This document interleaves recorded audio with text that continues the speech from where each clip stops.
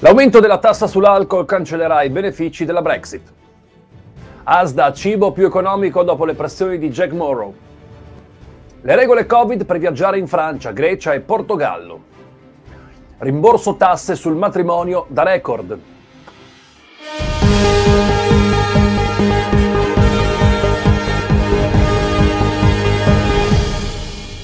Buonasera, ben ritrovati nel telegiornale di Italy Today UK. Oggi parleremo di eh, una riforma nuova, quindi di tasse che riguarderanno alcuni alcolici, tra i quali il nostro vino, ma anche lo sconto per, fiscale per i matrimoni dall'iniziativa ASDA che mette a disposizione cibi più economici per combattere l'inflazione. Oggi va in onda anche il secondo servizio sulle nuove regole per viaggiare nei vari paesi, tra i quali oggi parleremo di Francia, Grecia e Portogallo. Partiamo subito con il primo titolo, il primo argomento di oggi sulla riforma fiscale che prevede diverse tasse sugli alcolici che porteranno eh, alcuni alcolici a costare di più, tra i quali appunto il nostro vino. Ce ne parla nel prossimo servizio Daniele Pace.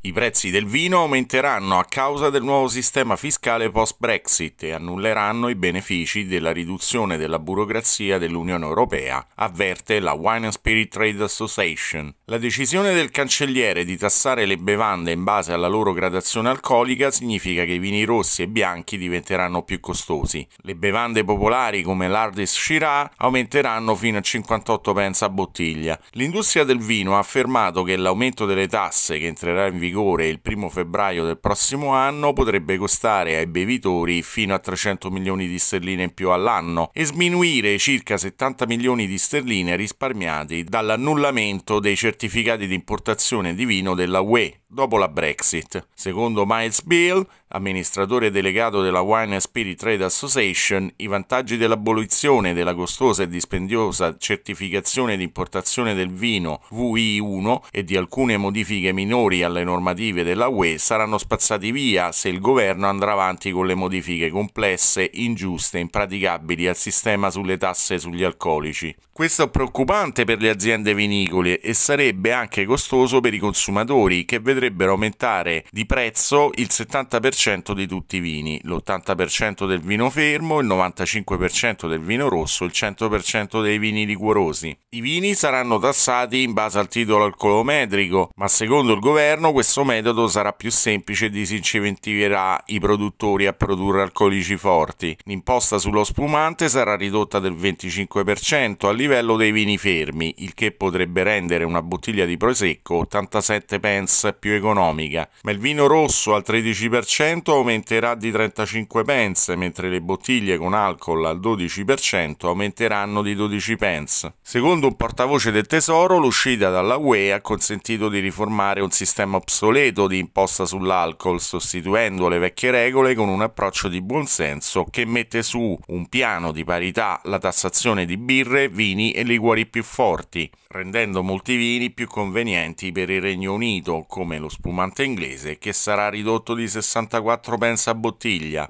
Daniele Pace per Italy Today UK.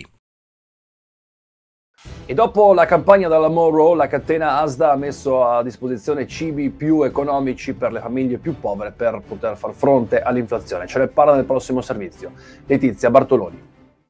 La catena di supermercati Asda si è impegnata a rendere più disponibili le sue gamme di prodotti alimentari economici, dopo che l'attivista contro la povertà Jack Morrow ha sollevato preoccupazioni sul fatto che gli acquirenti a basso reddito stessero affrontando un aumento insostenibile dei prezzi. Il supermercato ha affermato di aver accolto così i commenti di Morrow e di voler aumentare l'offerta delle sue gamme di Smart Price e Farm Stores in tutti i 581 negozi di elementari e online. Alcune delle offerte, che includono pacchi da un chilo di riso per 40 45 pence e scatole di pomodori tagliati a pezzetti per 28 pence erano state eliminate dal sito web e rimosse da alcuni negozi per razionalizzare l'offerta. Ma il mese scorso la Morro ha portato alla luce la situazione di alcune famiglie, costrette ad acquistare prodotti più costosi perché i prodotti a basso prezzo erano diventati irreperibili. Ad esempio, i pacchi di riso da un chilo più economici erano stati rimossi dagli scaffali e l'alternativa era una confezione da 500 grammi al prezzo di un pound, ovvero un aumento del 344%. Asda ha fatto sapere che 150 prodotti di fascia più economica sono attualmente stoccati in 300 negozi e che entro il primo marzo li introdurrà in tutti i suoi punti vendita. Questa settimana ha aumentato il numero disponibile di prodotti economici online da 100 a 187 e ne aggiungerà altri entro la fine del mese. Meg Farren, Chief Customer Office di Asda, ha dichiarato: Vogliamo aiutare i nostri clienti e abbiamo accolto i commenti sulla disponibilità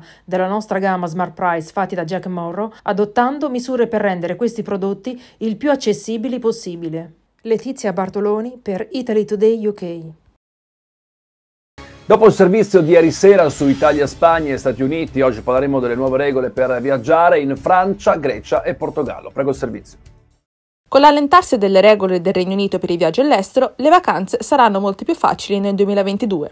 Dall'11 febbraio, i passeggeri completamente vaccinati non dovranno sostenere un test Covid nel loro secondo giorno di ritorno nel paese e già i test pre-partenza sono stati annullati. Tuttavia, alcune normative Covid rimangono nelle destinazioni di vacanza per chi arriva dal Regno Unito. Oggi parliamo delle attuali regole per viaggiare in Francia, Grecia e Portogallo, tra le prime mete di destinazione registrate dalla Gran Bretagna. La Francia è la terza destinazione turistica più popolare per i residenti del Regno Unito, che però hanno già dovuto subire delle restrizioni ferre nei mesi scorsi. Ora la situazione è migliorata, ma i passeggeri completamente vaccinati devono presentare comunque un test PCR negativo o un test di flusso laterale effettuato entro 24 ore dalla partenza dal Regno Unito. Questi test devono essere pagati privatamente e devono essere sostenuti da chiunque abbia più di 12 anni. Deve essere completata anche una dichiarazione giurata che non si hanno sintomi di Covid o non si è avuto contatti con casi confermati nelle ultime due settimane. Per essere considerati completamente vaccinati in Francia bisogna aver fatto due dosi almeno una settimana prima del viaggio. Per i passeggeri non vaccinati invece si deve dimostrare che il viaggio è essenziale, fare un PCR o un test di flusso laterale. Per andare in Grecia, i viaggiatori di tutte le età devono compilare un modulo di localizzazione prima dell'arrivo e ricevere un'email con i codici QR. Tutti i turisti di età superiore a 5 anni, vaccinati o meno, hanno bisogno di un PCR negativo nelle ultime 72 ore o del test di flusso laterale nelle ultime 24 ore e si può essere scelto a caso per un test rapido all'arrivo. Tutti coloro che viaggiano nel Portogallo continentale devono compilare un modulo di localizzazione e, indipendentemente dallo stato di vaccinazione, essere negativi al test Covid con quello di flusso laterale effettuato 48 ore prima della partenza e PCR 72 ore prima. Simona Sieda per Italy Today UK. Ringraziamo Simona Sieda, ora parleremo di tasse perché è possibile richiedere uno sconto fiscale proprio, per il proprio matrimonio o unione civile, quest'anno sarà il più alto degli ultimi anni. Prego il servizio di Francesca Doria. Lo sgravio per il matrimonio, il Marriage Tax Refund, riferito all'anno fiscale 2021-2022, è il più alto degli ultimi anni ma milioni di coppie sposate non ne conoscono nemmeno l'esistenza. A seconda delle proprie condizioni economiche si potrebbe ricevere un rimborso fino a 1220 sterline, naturalmente per le persone più povere. Inoltre il rimborso è rateizzabile in modo da ridurre le tasse fino a 252 sterline all'anno. È facile da richiedere e l'applicazione va fatta solo una volta prima di essere impostata a vita. Marriage Tax Refund è un programma governativo progettato per concedere alle coppie sposate e ai partner civili uno sgravio dell'imposta sul reddito. Ciò significa che si può trasferire parte della franchigia fiscale al proprio partner se si guadagna meno di 12.500 sterline all'anno, ovvero la parte dei redditi esente da tasse in Inghilterra. In questo modo centinaia se non migliaia di famiglie potranno ridurre il loro imponibile fiscale. Inoltre la richiesta è retroattiva e il rimborso può essere ottenuto fino a 4 anni fiscali passati, da 2017-2018,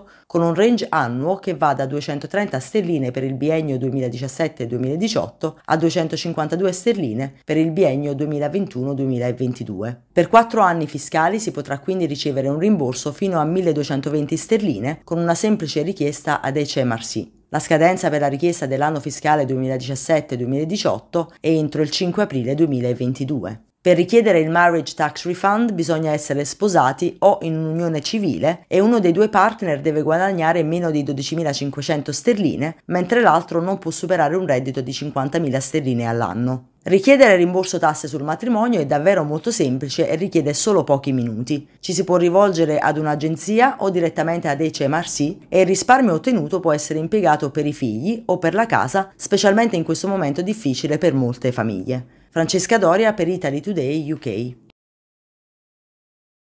È tutto per oggi, grazie per averci seguito. Il TG ritorna domani sempre alla stessa ora. Vi invitiamo sempre a rimanere aggiornati grazie ai nostri canali di YouTube, social e il sito internet Italy Today UK. Grazie ancora.